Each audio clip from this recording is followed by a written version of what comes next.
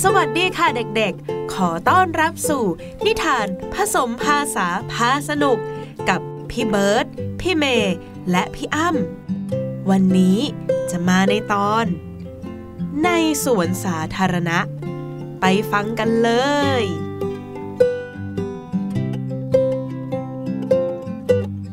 ในวันที่ลุงหมีมาทำงานในเมือง แต่ไม่สามารถพาลิงจอและเจ้ากระต่ายไปด้วยได้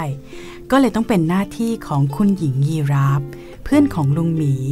อาสามาดูแลเจ้ากระต่ายและลิงจอคุณหญิงยีราฟเลยชวนทั้งสองไปเที่ยวที่สวนสาธารณะประจำเมือง สวัสดีจ้าลิงจ๋อกระต่าย เดี๋ยววันนี้ ฉันจะดูแลเธอเอง เพราะลุงหมีเนี่ยฝากเธอไว้กับฉันนะ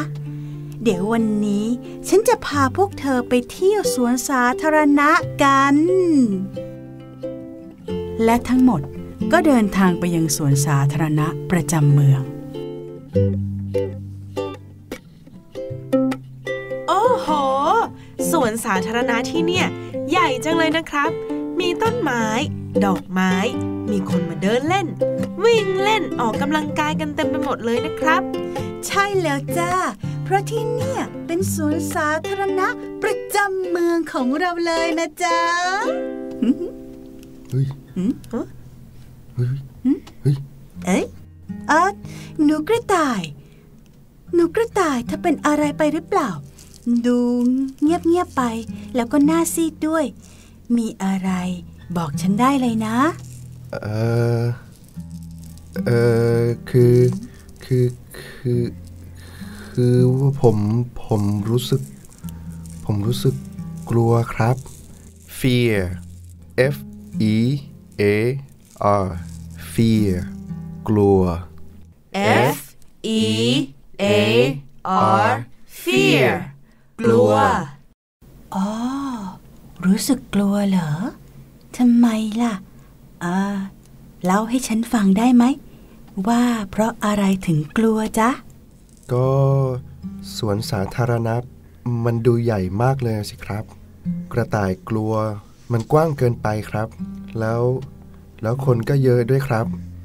กระต่ายไม่ค่อยชินกับคนเยอะเลยครับ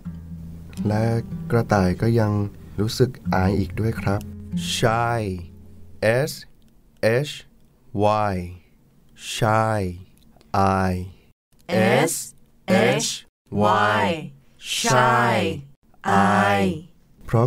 กระต่ายรู้สึกว่ากระต่ายแตกต่างจากคนที่นี่จังเลยครับ อืม เธอไม่ต้องกลัวนะกระต่าย เธอจับมือฉันไว้ก็ได้ แล้วเดี๋ยวเราเดินไปด้วยกันนะ อืม ไม่จำเป็นต้องกลัว ไม่จำเป็นต้องอายนะ ค่อยๆ ปรับตัว เดี๋ยวฉันจะพาเธอไปเล่นอะไรสนุกสนุกๆกัน ไปนั่งชิงช้า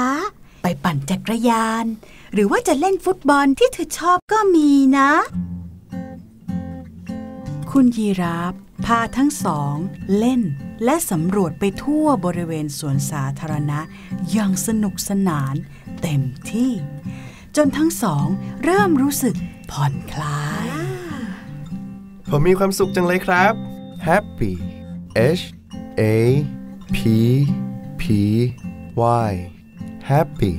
มีความสุข H A P P Y happy มีความสุข ผมรู้สึกว่าไม่กลัว แล้วก็ไม่อายแล้วล่ะครับ มีคุณยีราฟแล้วก็ลิงจ๋ออยู่ใกล้ๆ เนี่ย ทั้งอุ่นใจ สบายใจขึ้นเยอะเลยครับ กระต่ายสนุกมากๆเลยครับ ในระหว่างที่ทั้งสามกำลังยิ้มและหัวเราะกัน ทันใดนั้นเอง ลูกบอลก็ลอยฟ้าอากาศ ลอยมาแต่ไกล แล้วก็มาโดนที่หัวลิงจ๋ออย่างแรงโอ้ย ใครเนี่ยเตะลูกบอลมาโดนหัวลิงจอเนี่ยทำไมทำอย่างนี้นะ ไม่ได้เรื่องเอาซะเลย ลิงจ๋อไม่พอใจและรู้สึกโกรธ angry a n g r y angry โกรธ A N G R Y angry โกรธ โกรธเป็นอย่างมากอืมโวยวายเสียงดัง ทำอย่างนี้ได้ไงเนี่ย แล้วเด็กชายตัวเล็กๆ คนหนึ่ง ก็เดินมาขอโทษลิงจ๋อและขอลูกบอลของเขาคืน ไม่เอาไม่ให้หรอก แต่ลิงจ๋อไม่ยอมคืนลูกบอลให้เด็กชาย เพราะยังรู้สึกโกรธไม่หายอุ้ยไม่ให้ฉันไม่ให้ เออ ลิงจ๋อจ้ะใจเย็นๆก่อนนะ ไม่เป็นไรที่จะรู้สึกโกรธ แต่ลิงจ๋อต้องค่อยๆสังเกตตัวเองนะ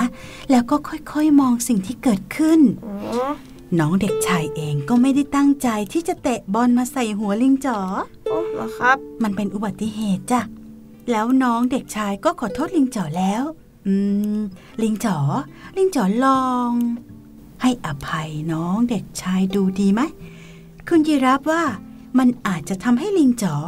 สบายใจมากขึ้นนะก็ ก็ได้ครับ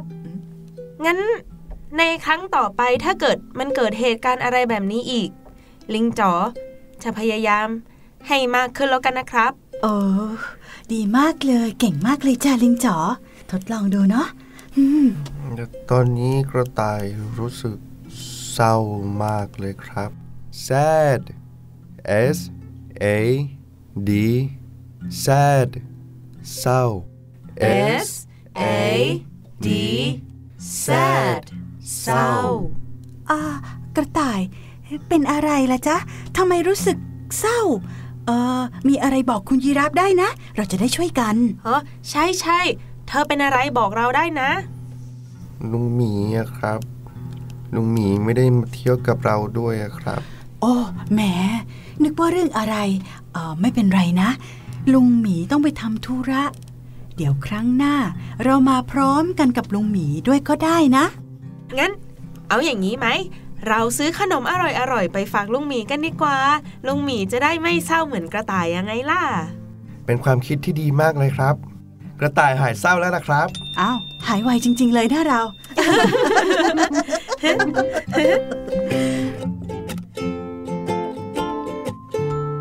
หลังจากช่วงเวลาดีๆ ที่มีความสุขในวันนั้น ความมั่นใจของลิงจอและกระต่ายก็มีมากขึ้น เพราะทั้งสองรู้ว่า ลุงหมี คุณหญิงยีราฟ เป็นครอบครัวที่พร้อมจะช่วยเหลือไม่ว่าจะเกิดอะไรขึ้นก็ตาม ขณะที่พวกเขาเดินกลับบ้าน ลิงจอและเจ้ากระต่าย ต่างก็มีความสุขและความอิ่มเอมใจ ติดตามรับฟังนิทานผสมภาษาพาสนุก ได้แล้วในทุกช่องทางของ Thai PBS Podcast ทั้งเว็บไซต์และแอปพลิเคชัน ดาวน์โหลดได้แล้ว ทั้ง iOS และ Android เลยนะคะ